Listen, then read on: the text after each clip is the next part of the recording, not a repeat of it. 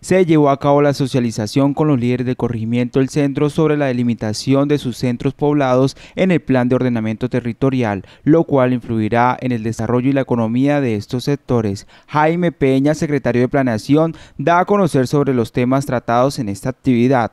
Desarrollando una jornada de socialización de la delimitación de los 20 centros poblados del corregimiento del centro que quedaron definidos o que están propuestos en la delimitación para el nuevo plan de ordenamiento territorial.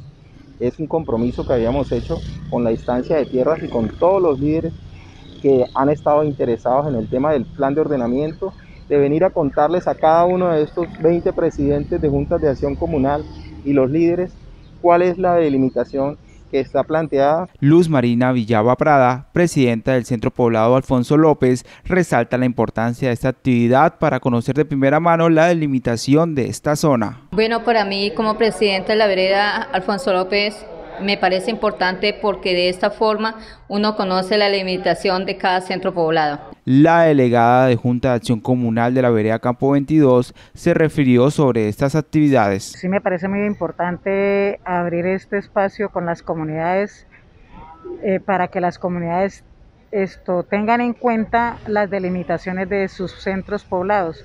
Hoy estamos en una reunión de delimitación de centros poblados, mirando eh, cuáles, cuáles son los límites del centro, del centro poblado Vereda Campo 22.